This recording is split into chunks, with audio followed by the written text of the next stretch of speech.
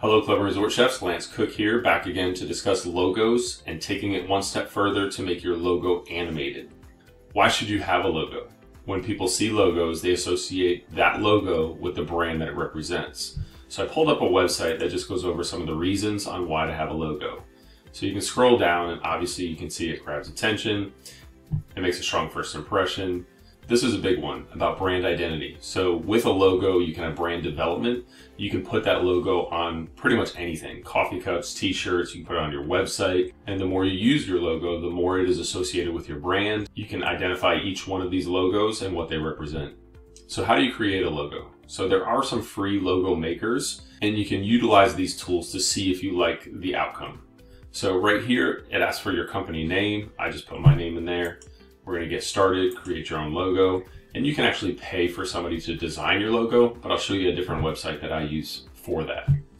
So you can see it's already populated some different logos for me to scan over.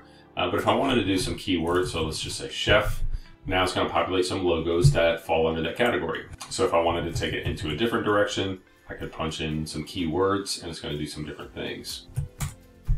And essentially you would click on one that you like and take it a step further.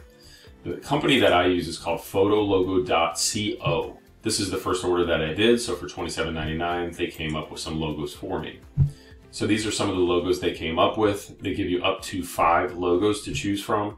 So this was one of them that had my certifications in there. This one particularly just seemed too jumbled up.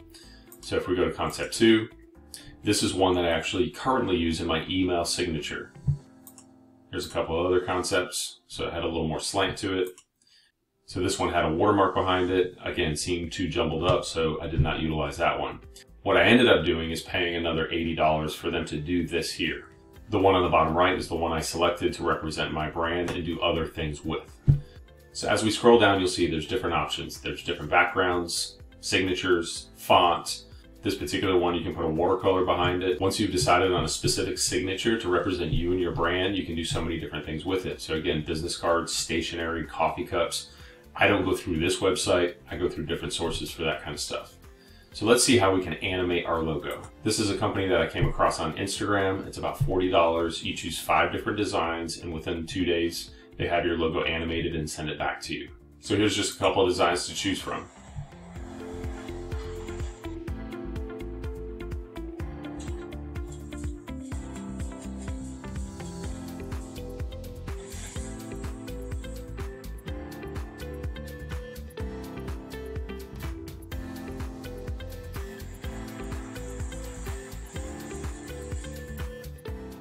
And if you've decided on them to animate your logo, just click on their website.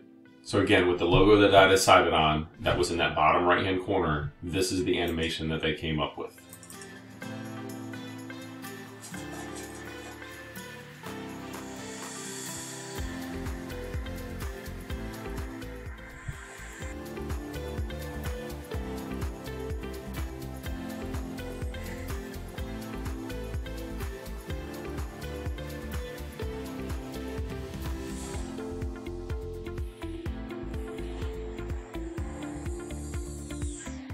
So with making a logo and animating your logo to develop your brand, the sky's the limit.